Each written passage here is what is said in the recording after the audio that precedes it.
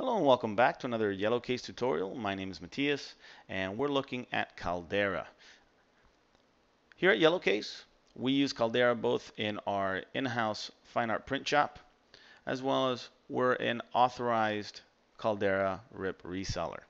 We believe wholeheartedly in this RIP and we've used many RIPs before it, but it's the one that we prefer to use for our own work. What we're going to be looking at here is how to add a new roll or page size to Caldera to any one of your printers.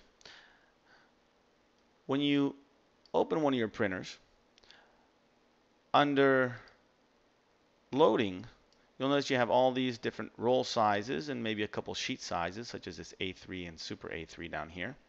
I'm looking at my Epson 11880, and these are the, the default roll sizes and page sizes that it comes with in Caldera. But what if I have a different roll that uh, I bought from a third party or perhaps a, sh a sheet that is not listed here? How do I use that?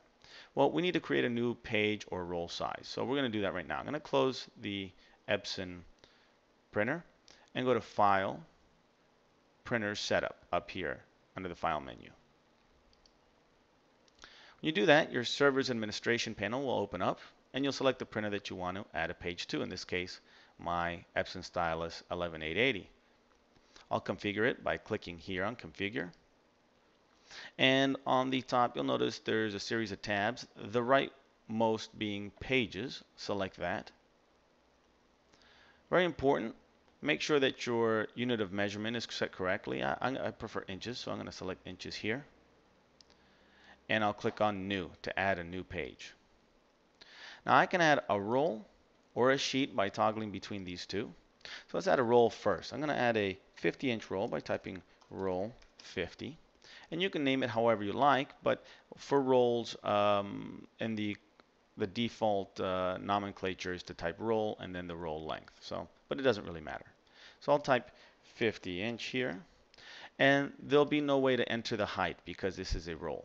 And rolls can be of different lengths.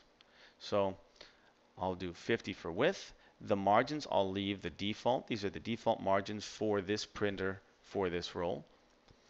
And all I need to do is click on OK. You'll notice now I have a 50 inch roll here. It says roll 50. I can create a new one. And let's create a page. Let's make a 13 by 19 sheet. I'll make a 13 inch width, 19 inch height. I'll leave the margins as they are once again and click on OK. So there's my 13 by 19. There are three other buttons here. You can select edit to edit a page once again like the one I just created.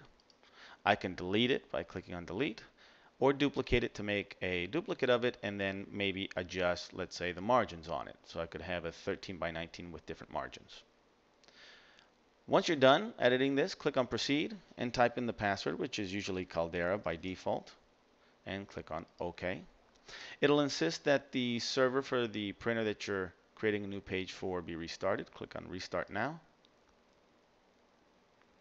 It'll take one second and then you'll be able to close down the server's administration panel. And the next time you open up your printer driver, in this case the 11880, and you click on the media size, you'll be able to select, for example, 13 by 19 here, or the 50 inch roll.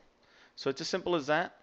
I uh, hope this helps. Let us know if you need any uh, upgrades to your Caldera software, training, or want to uh, get into a RIP.